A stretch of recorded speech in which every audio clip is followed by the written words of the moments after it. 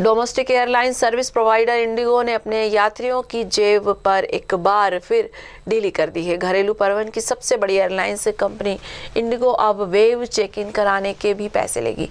इस संबंध में ट्वीट करते हुए इंडिगो ने बताया है कि वेब चेक इन के लिए ग्राहकों से 100 से 800 रुपए तक वसूले जाएँगे।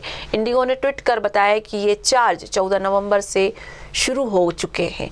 इंडिगो के इस कदम पर नागर विमानन मंत्रालय ने संज्ञान लिया है।